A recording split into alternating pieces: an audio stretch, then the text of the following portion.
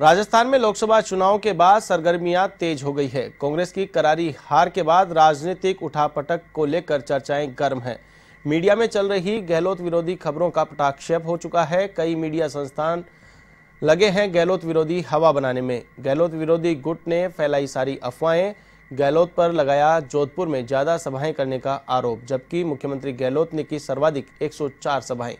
सौ सभाएँ की गहलोत, पायलट और अविनाश पांडे के साथ साथ सभी 25 सीटों पर की गई ये सभाएँ सभी विधानसभा सीटों पर गए सीएम गहलोत। सारी खबरें गहलोत विरोधी गुट ने चलवाई, जिससे असमंजस का माहौल हो ताकि नेताओं की आपसी लड़ाई का फ़ायदा विरोधियों को मिले। लेकिन मुख्यमंत्री गहलोत ने दिल्ली में राहुल गांधी, अहमद पटेल और अन्य नेताओं से मिलकर अपना पक्ष रखा है। टिकट वितरण को बताया गया है, हार का सबसे बड़ा कारण। गहलोत को लेकर सभी आशंकाएँ हुई। निर्मूल अपनी बात रखकर मुख्यमंत्री अशोक गहलोत दिल्ली से जयपुर लौट चुके हैं।